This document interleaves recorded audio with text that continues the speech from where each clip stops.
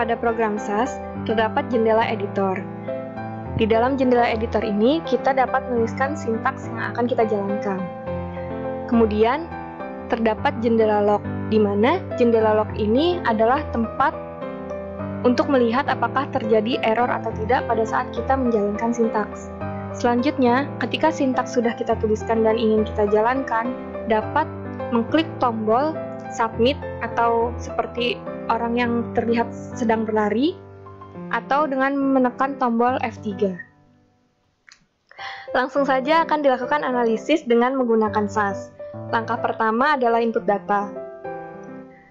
Data diberi nama RAL sehingga dapat dituliskan sebagai berikut. Selanjutnya, input variabel yang digunakan dengan sintaks berikut. Treat merupakan variabel perlakuan yang digunakan. Diberi tanda dolar, setelah kata treat menandakan bahwa variabel treat merupakan variabel kategori.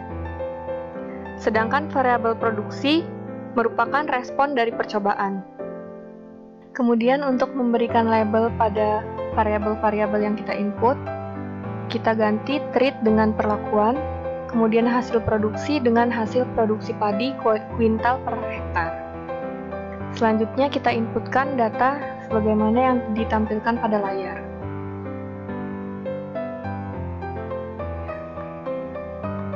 Selanjutnya kita akan merunning data dengan cara mengklik submit dapat terlihat di log sudah running. Untuk melihat hasilnya kita dapat ke explore, lalu libraries, kemudian work. Terdapat tabel yang sudah terinput datanya.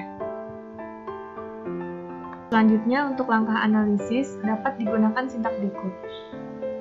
Sama seperti tadi, kita blok, kemudian kita klik tombol submit.